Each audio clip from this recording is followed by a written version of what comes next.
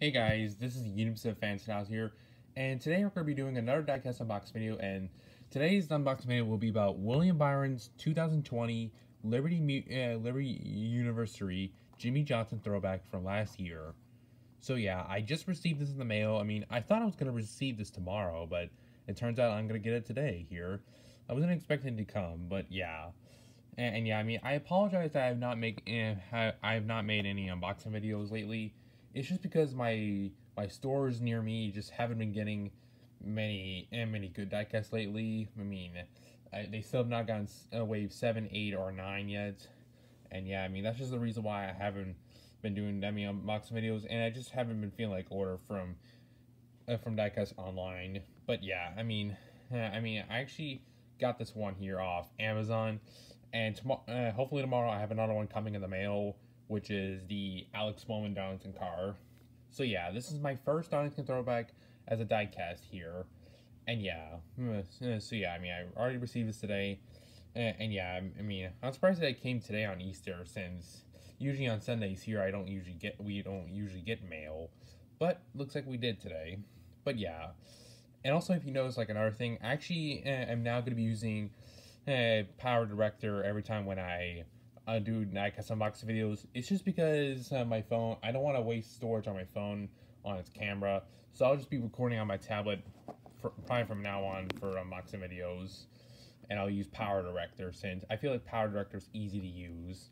I mean, it's just the same as KineMaster, but yeah, I'm just going to be using Power Director now.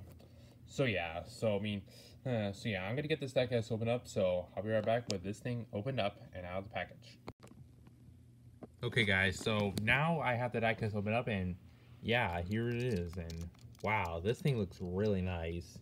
So yeah, this was a throwback to Jimmie Johnson's, I think 2013 All-Star car.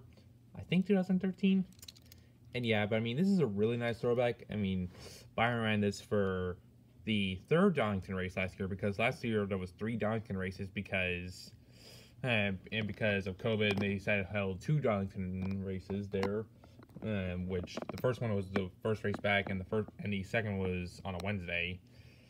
And yeah, but I mean, this is a really nice car here. You can also see right here, it says playoffs right here because last year William Byron was in the playoffs, but unfortunately he got eliminated in the round 16 due to a crash at Bristol. But yeah, I mean, this is a really nice throwback here. And yeah, you can see in the back, uh, Liberty, it uh, and yeah you can see Valvoline right there. And yeah it just looks really nice here. And yeah I mean I'm just happy to have this. And you don't know why the tires right here look different is because I believe it looks like I think Goodyear actually made a throwback tire for this race. And honestly those tires look really good. But yeah, I mean, I'm hoping to get more throwbacks soon. I mean, I am getting, hopefully getting Alex Bowman's throwback tomorrow in the mail, because I, that's what it said it will arrive on. And yeah, but I mean, once it arrives, I will and do an unboxing video of that. And yeah, but I mean, I'm also hoping to get a few Darlington throwbacks for my birthday. I mean, my birthday is in 17 days, so it's getting closer now.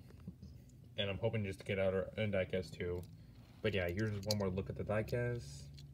Yeah, I really like the colors on this here. Yeah, but I'm just hoping to get the other Hendrick cars.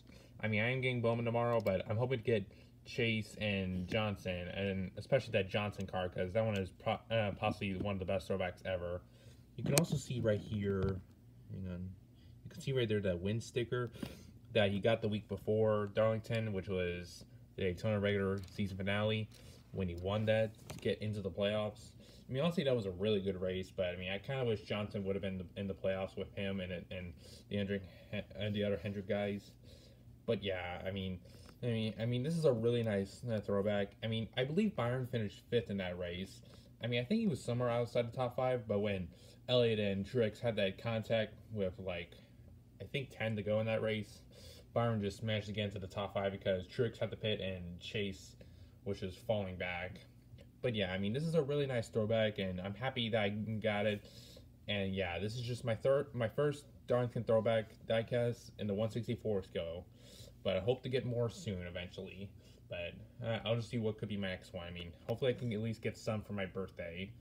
but yeah, yeah, so yeah, I mean, I hope you guys enjoyed this video. I mean, I do apologize that I haven't made one in a while. I mean, I explained why, and yeah, and also happy Easter, uh, happy Easter to everyone, and I hope you all have a good day, and yeah, uh, uh so yeah, but I mean, uh, uh, hopefully, if I get the, the uh, get the Alex Bowman diecast tomorrow, I will do an unboxing video of that.